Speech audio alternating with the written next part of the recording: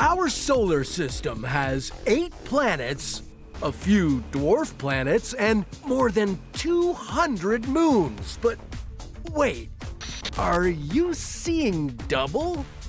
Or did every planet suddenly get a twin? Where would each planet's double fit in? Why would Earth 2.0 not support any life? And which planet's twin could turn out to be habitable? This is What If, and here's what would happen if every planet had a twin. The solar system has three types of planets rocky, gaseous, and icy.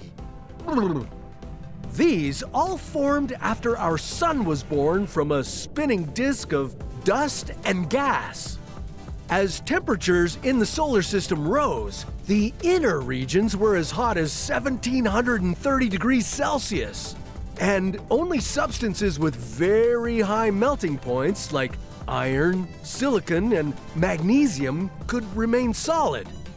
This gave way to our rocky terrestrial planets Mercury, Venus, Earth, and Mars. Further out, temperatures were as cool as minus 225 degrees Celsius. So the outer planets like Jupiter and Saturn attracted massive amounts of hydrogen and helium.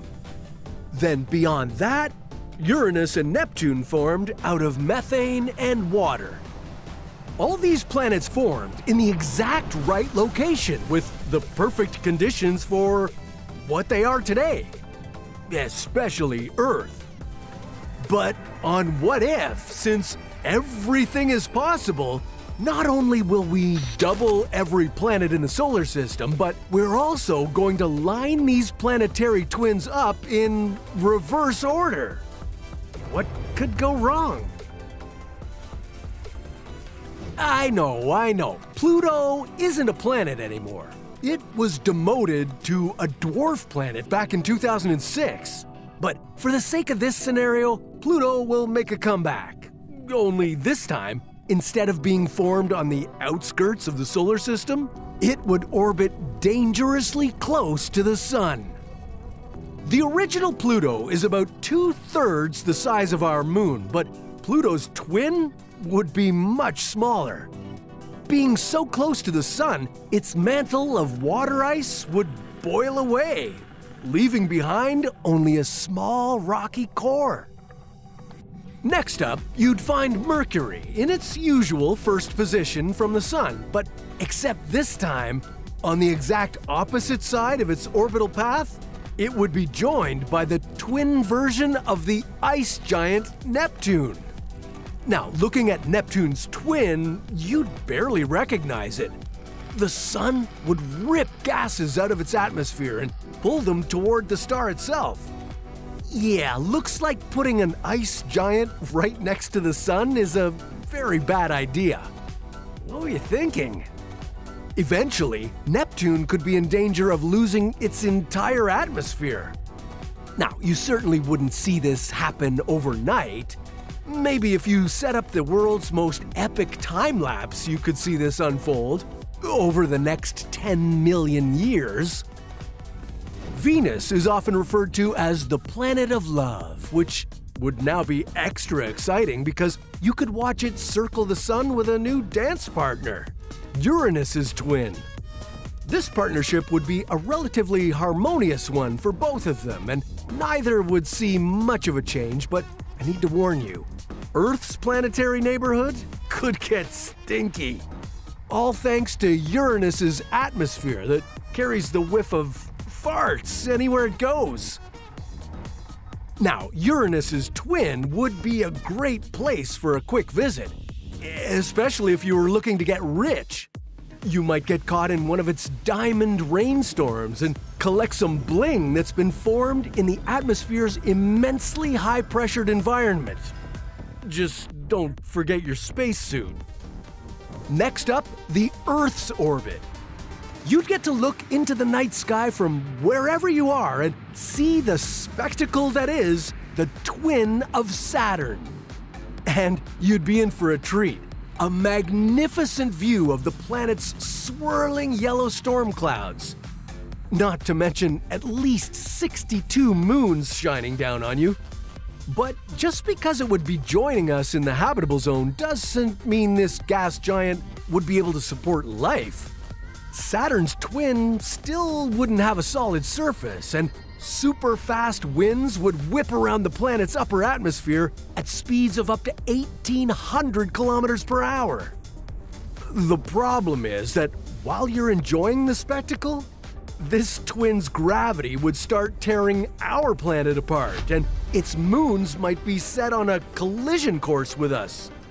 Odds are that this planetary configuration would wipe out all life on Earth. Okay, okay, enough of the bad stuff. Let's talk about Mars. The red planet would be paired with the world that is home to the infamous Great Red Spot. Yeah, you guessed it. The twin of Jupiter is about to crash this party. The copy of the largest planet in the solar system would be located at the very edge of the Sun's habitable zone. Now, that wouldn't mean that Jupiter's twin could support life.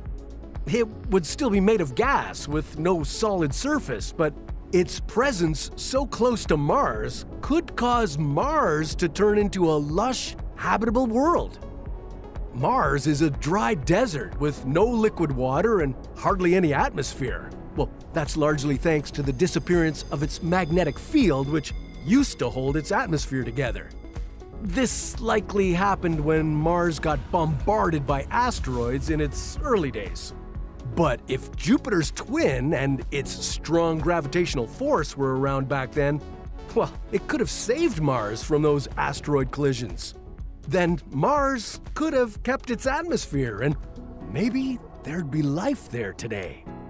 Or maybe this twin of the largest planet in the solar system would have sent even more asteroids toward Mars. Maybe even right toward Earth, meaning life probably wouldn't even have the chance to form. Okay, on the opposite side of our solar system's asteroid belt, you'd find all these pairings repeated starting with the original Jupiter and the twin of Mars. Things would stay pretty much the same. Jupiter would still be big and gaseous, while Mars would be cold, dry, and lifeless. And then there would be Earth 2.0. Now sharing an orbit with Saturn, you'd find Earth's twin way outside the Sun's habitable zone. Here, you'd receive 1% as much sunlight as you get back home. From space, Earth 2.0 would look like a frozen snowball version of our planet.